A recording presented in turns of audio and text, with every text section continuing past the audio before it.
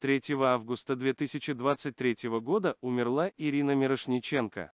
Одна из красивейших и талантливых советских актрис.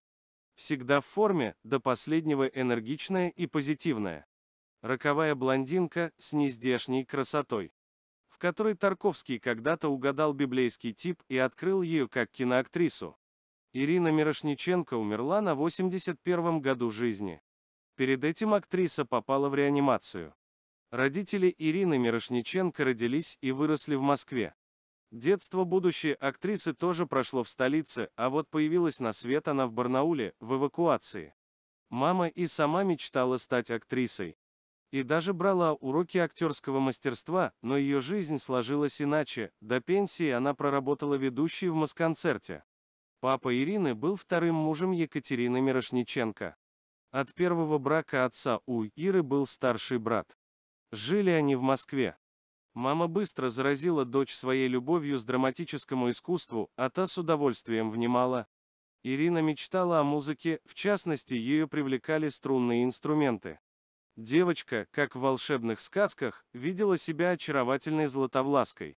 Восседающей за арфой и бережно перебирающей ее струны, извлекая мелодичные звуки. Но габариты красивого инструмента пугали родителей и совершенно не соответствовали размерам стандартной московской квартиры. Поэтому от этой идеи будущей актрисе Ирине Мирошниченко быстро пришлось отказаться. Однако мечты о музыке Ирина не забросила. Родители нашли возможность отправить ее в студию при училище. Гнесиных, где она изучала игру на скрипке, а также французский язык. Но после вуза талантливая к музыке и языкам девочка все же отправилась покорять театральные учебные заведения, и у нее это быстро получилось. С первого раза Ирина Мирошниченко поступила в школу-студию МХАТ, а сразу после дипломного спектакля, где она смогла отличиться. Первые роли в кино интеллигентная и красивая актриса Ирина Мирошниченко стала получать, едва окончив вуз. Она будет часто играть иностранок, потому что такой стиль – грация. Умиротворенность в пластике не были свойственны советским женщинам. Красоту и шарм актрисы первым отметил драматург Михаил Шатров, который позже стал мужем Ирины Мирошниченко. Он ухаживал за красавицей совсем недолго, боялся, что его нерасторопность приведет к тому, что Ирину уведут. После пары месяцев романтики Шатров сделал Мирошниченко предложение. Она согласилась. Красавец Витаутас Желакявичу с глаз не мог оторвать от Ирины. Их захлестнули взаимные чувства, которым ни он, ни она не смогли противостоять. Режиссер будто и вовсе забыл, что за пределами съемочной площадки в его личной жизни его дожидаются супруга и маленькая дочка.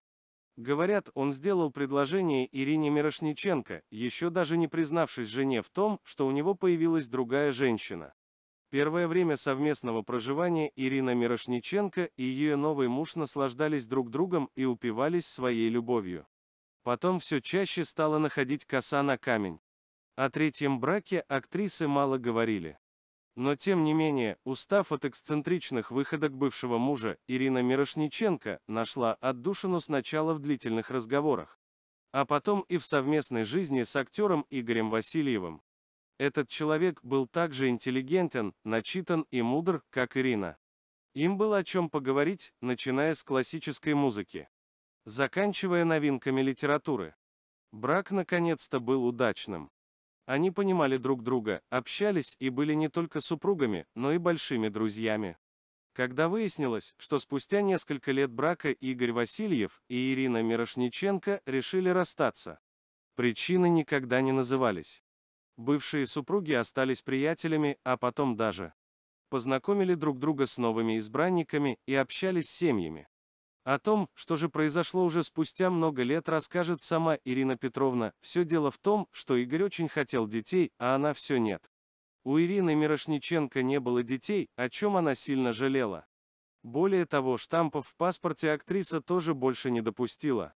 Поэтому, наверное, она так и не осталась ни с кем из них. Ирина Мирошниченко увлекалась дачной жизнью. Правда, заниматься грядками не хотела, ездила отдыхать в свой крохотный деревянный домик.